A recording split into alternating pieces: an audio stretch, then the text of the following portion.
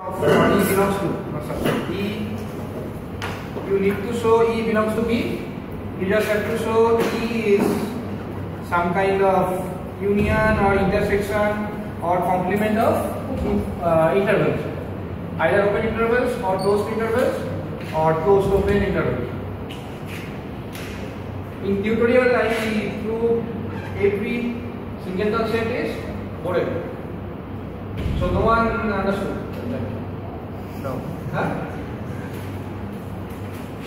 How did I show? The singleton set is uh, set. Borel set means this is Borel set means this set is measurable set in RB. That means this is just a set from sigma algebra. Some set is Borel set means that set is inside Borel sigma algebra. So we need to prove singleton set Borel means we need to prove this belongs to Borel sigma algebra. That means we need to prove this is some kind of union of open intervals or intersection, not open intervals, sorry, intervals, any type of interval. Intervals or intersection or maybe their permutation combination and complement anything. How did I show this one? Anyone remember? This one was intersection of this is A, this is real line. So we take A minus 1, A plus 1. Next we take A minus half, A plus half. So like that, then intersection. So A is intersection of A minus 1 by n, A plus 1 by n. We keep on taking intersection, we will get only this point. And then we know if an in the sigma algebra, their union also in sigma algebra. So since the singleton set A in Borel, their union, if you take some singleton sets, singleton B, singleton C, all of them belongs to B. Countable number of such unions. So next we prove any countable set is Borel. Any countable set is countable set means this set contains countable number of elements. Countable set means contains countable number of elements. So we take countable number of unions, it will be also a Borel. This thing is already done.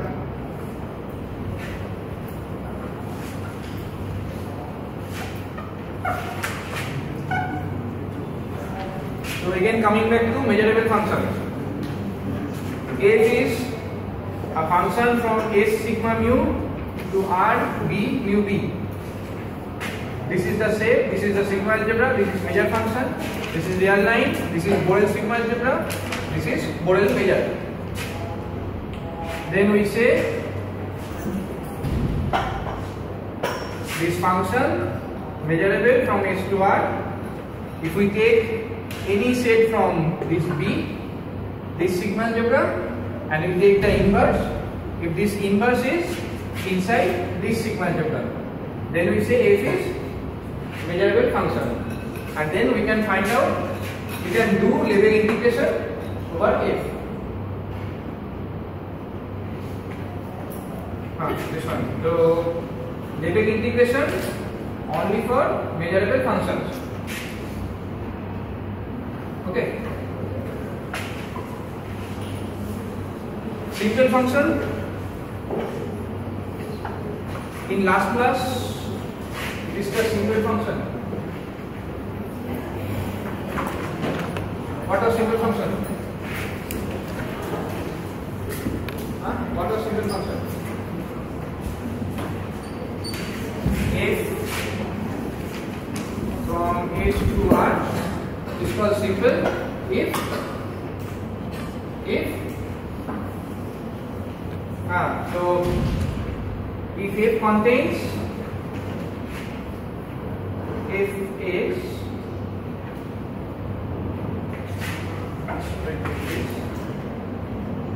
if X such that X belongs to S the image set or range, range of F is finite if f of x is finite. Example was if we take f from natural number to r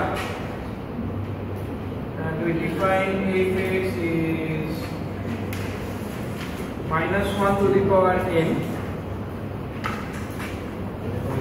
should be x is minus 1 to the power x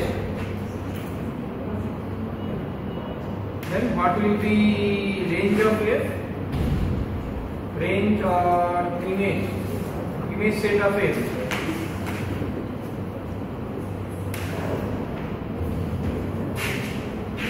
what are the fx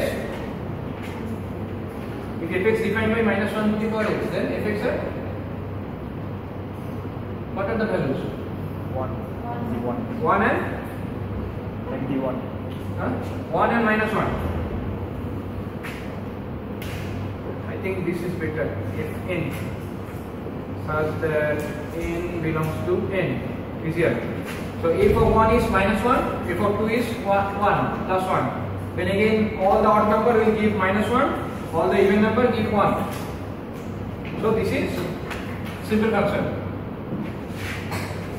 But if we take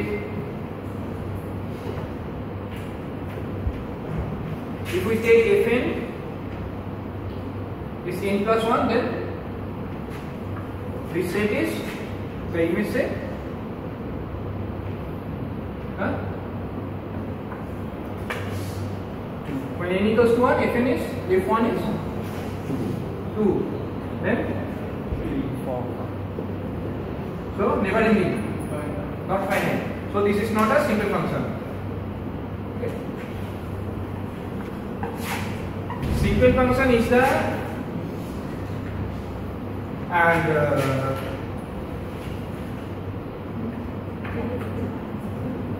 still remember characteristic function. Characteristic function was?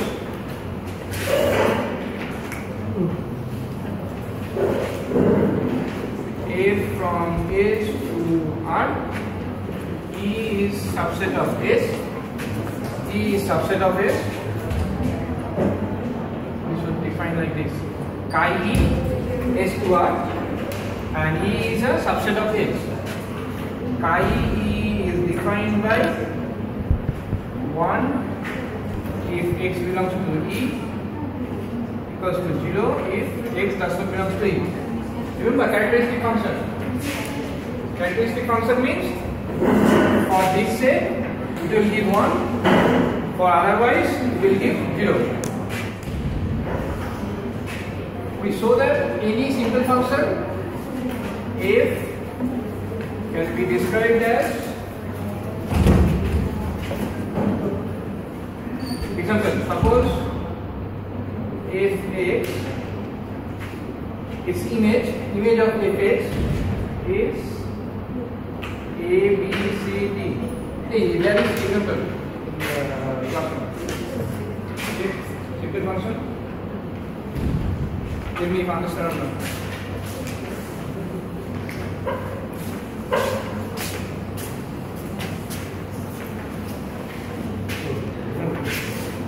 Show, show. Simple function.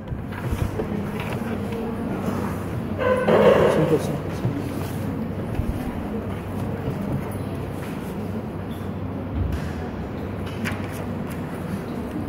Ah, e- uh, exercise 7, example 7.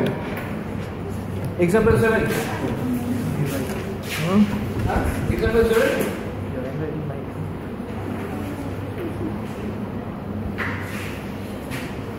we are given a set S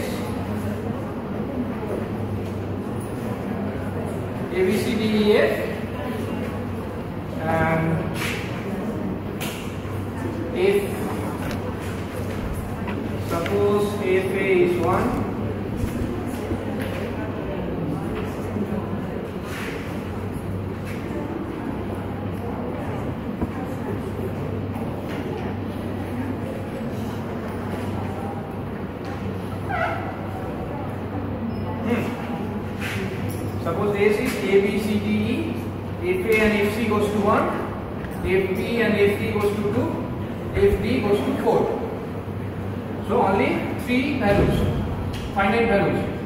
So f is simple function. We can write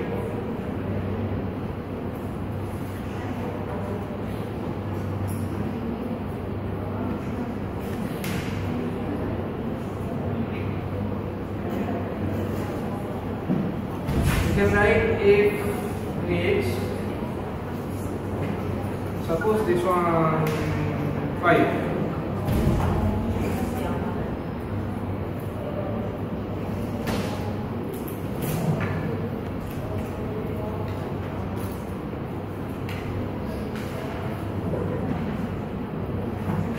understand why huh? Understand why A is this way A B C D E and if A if C goes to 5 same point same value so we take A and C consider this one is one set E1 next B and E goes to same value 2 so we take B and E consider it as E2 then D goes to 4 we take E3 goes to D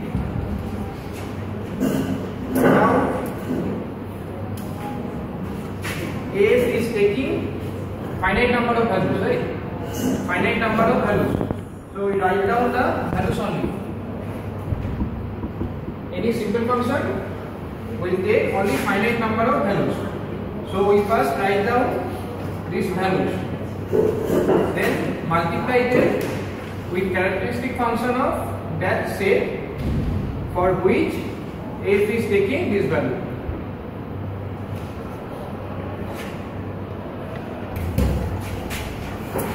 Since f is simple function simple function f is taking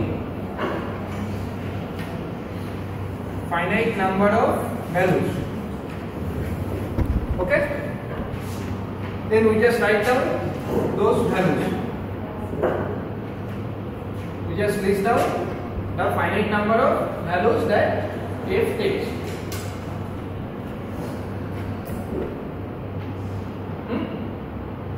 Here f is taking only three values 5, 2 and 4.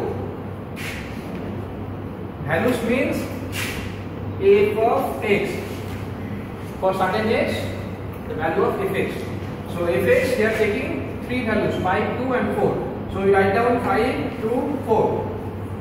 And then multiply this value with the set characteristic function of that set for which for which f taking that value. We take 5 multiplied by characteristic function of E1. Why we took E1 and not E2 or E3? Because if we take f of A, we will get chi E1A.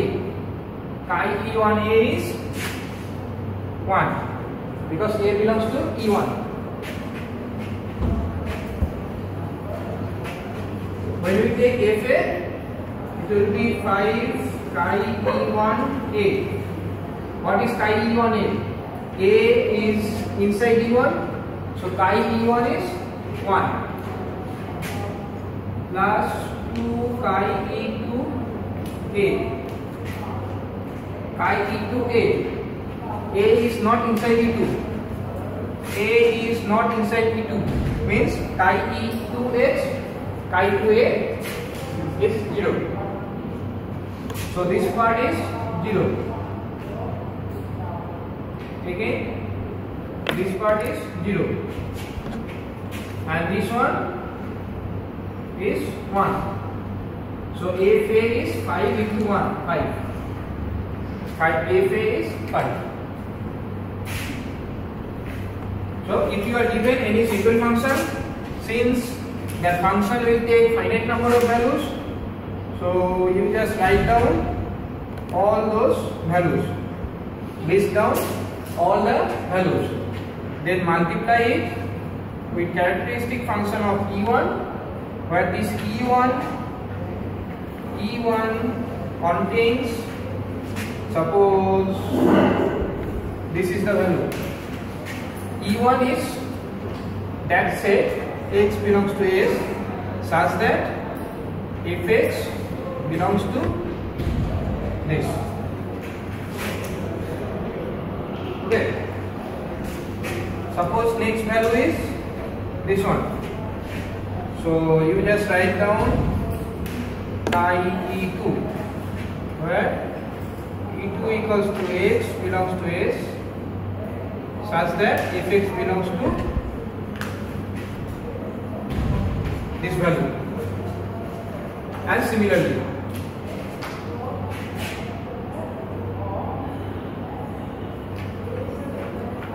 understand or not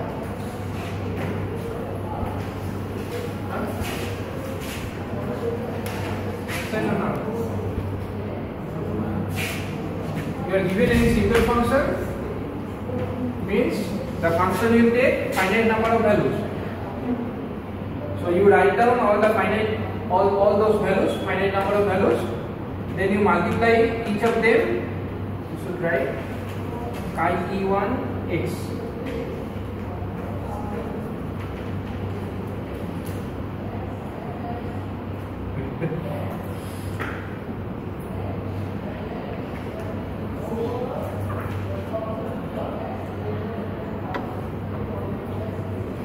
like this. So you write down the values first, then you multiply them with the characteristic function, and this set is that set for which fx is this, taking this value.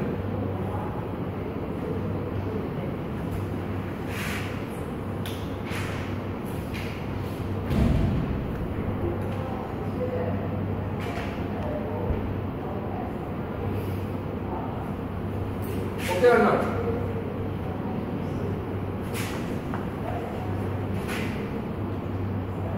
That's why we write if x equals to 5 characteristic function of E1. But this E1 is consisting of this point and this point.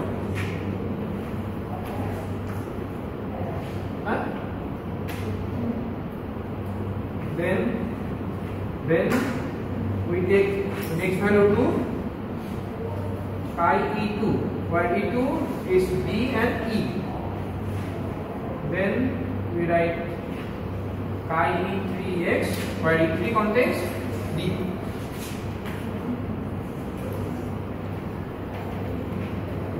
why we did that because if you take f of a f of a will be 5 characteristic function of e1 a. This term only will be 1 because A from E1. Rest of the terms will be 0. So f of A will give you 5, f of C will give you 5. If you take f of D, then this will be 0. Chi E1 of D will be 0 because D is not inside E1. And chi E2D will be 0 again because D is not inside E2. Only when you get chi E3D as 1. So A of D is 4.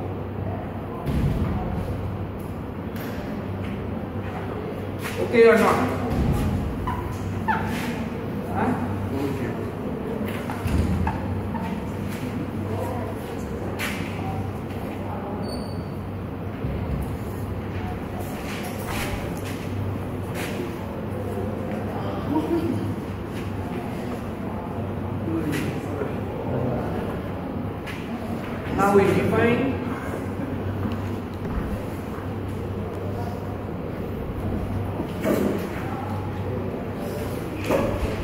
level integration for simple function only for simple function we define level integration only for simple function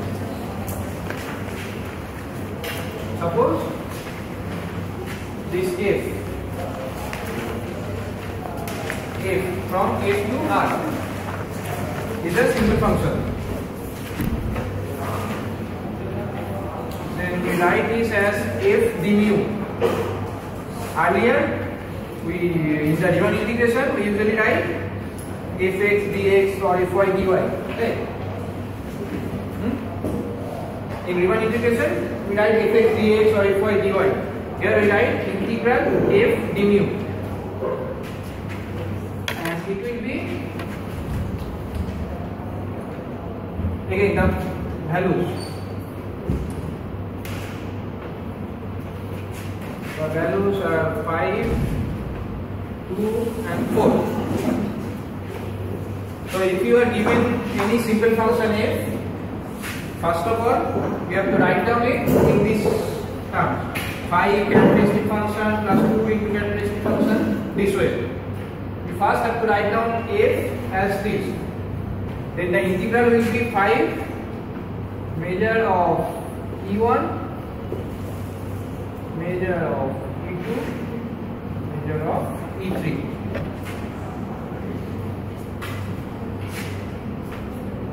Simple. If you are given a function like this, a simple function, you first write down fx as again first the values, then the characteristic function of those set for which fx taking this value. So you write down fx equals to 5 this plus 2 into this plus 4 into this.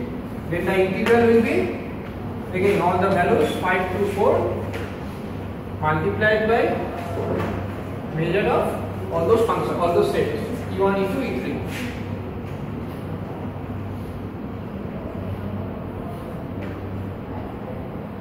Okay, living integration for simple function.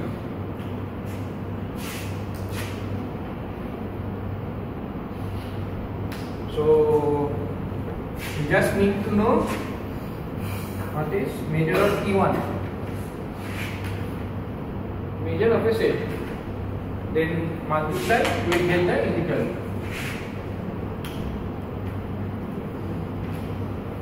Hmm?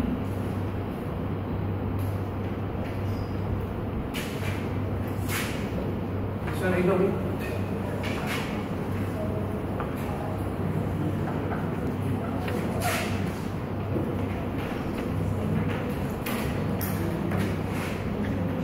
Now tell me what is length of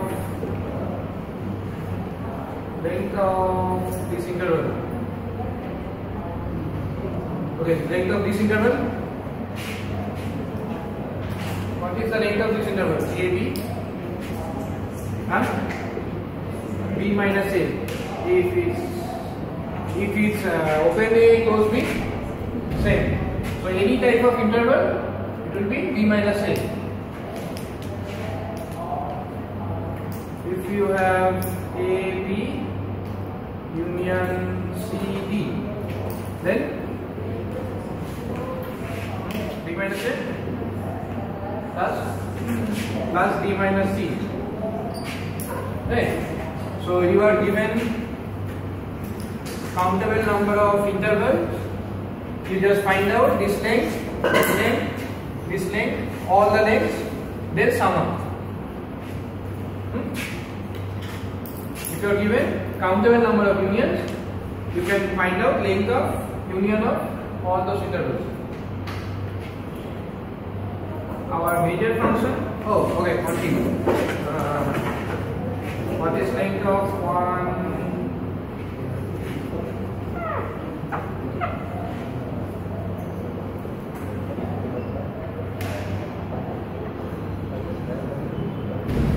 What is length of this? 1 3 union to 5?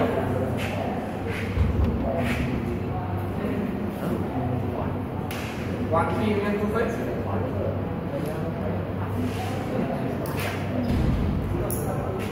How?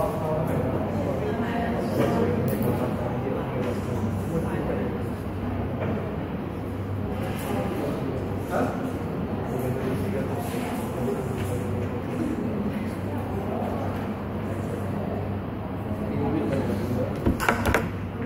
What is this length?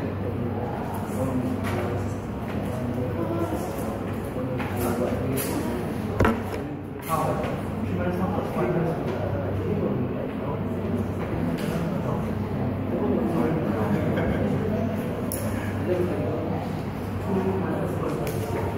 Uh, so this is the real line. One, three. Two, five is here. So the union is what is the union? One, two, five. The union is one, two, five. So this will be only length of one, five is five minus one, four. Okay.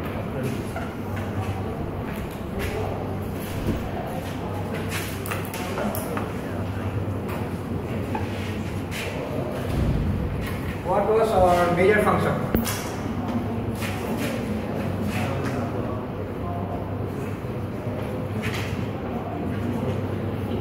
What was the mu? If there is a measure space, is sigma mu, then what was mu? Mu is taking 5 to 0. Second is mu obviously positive.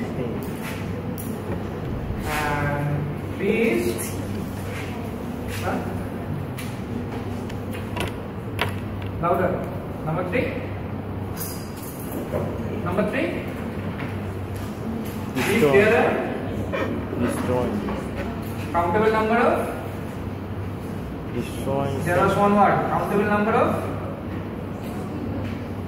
huh? Destroying. disjoint countable number of disjoint sets then mu of union in is summation of mu in this was mu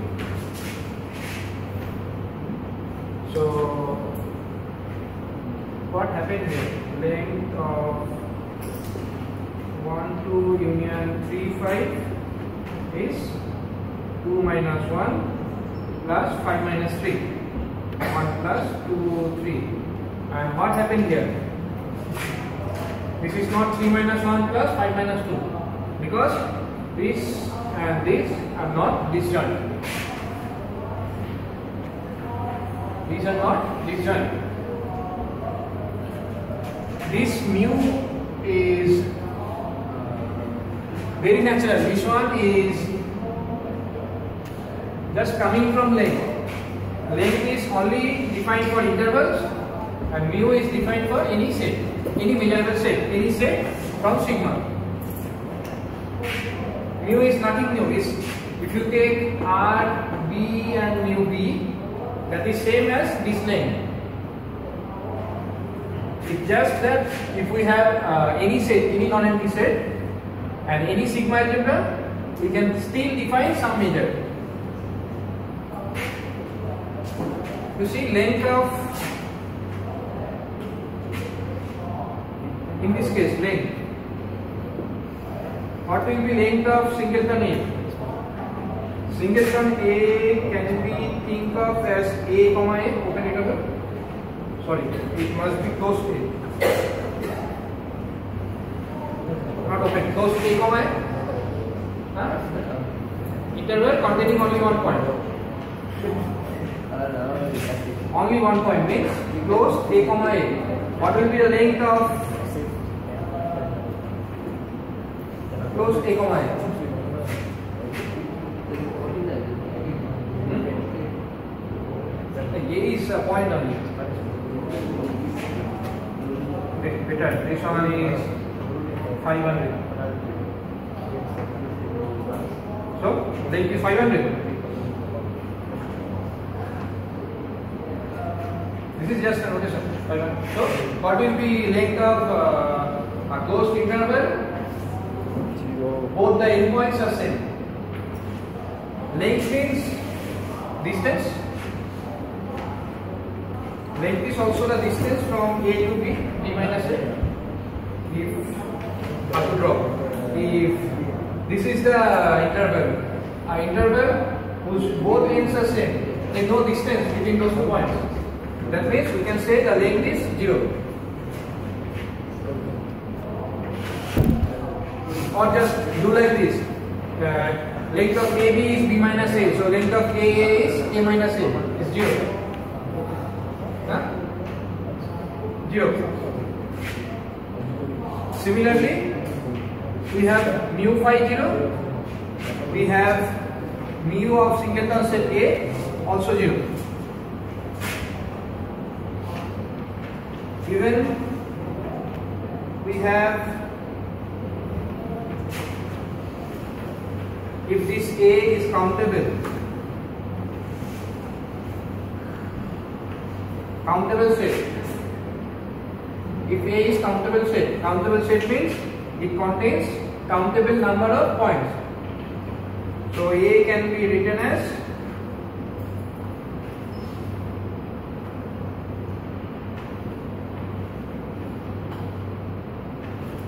countable number of union.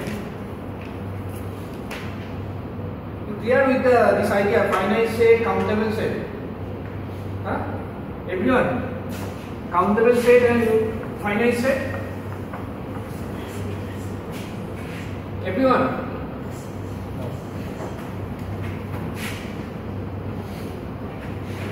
If S contains A, B, C, then S can be written as singleton A, union singleton B, union singleton C. Everyone understand?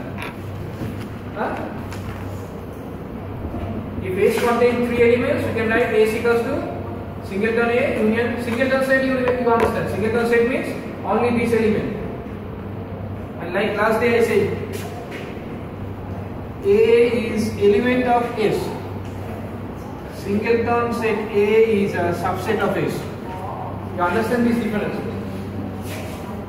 A is element, A belongs to S. Singleton set A, it's subset of S. Is not belongs to S.